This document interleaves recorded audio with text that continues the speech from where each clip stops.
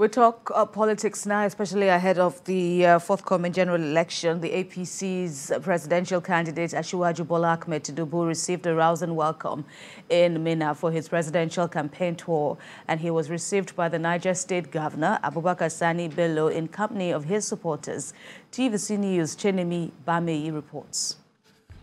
The Tinubu campaign train, after a successful campaign in Kaduna State, received a rousing welcome to Minna, the Niger State capital, where the APC-led government has held power for eight years.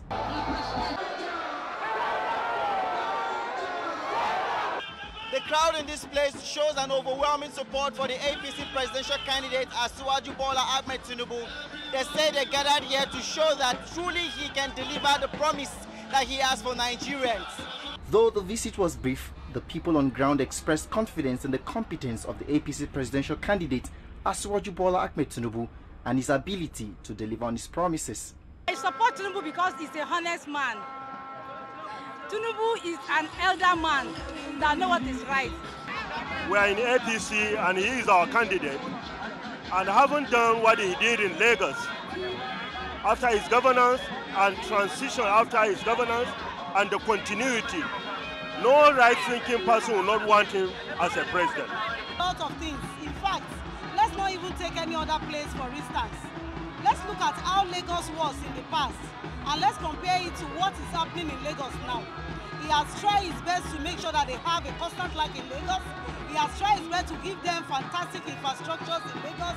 He has done a lot of things that in all the candidates, I have never seen anyone that can stand to his feet. Asiwaju will compensate women. He will give women 35%.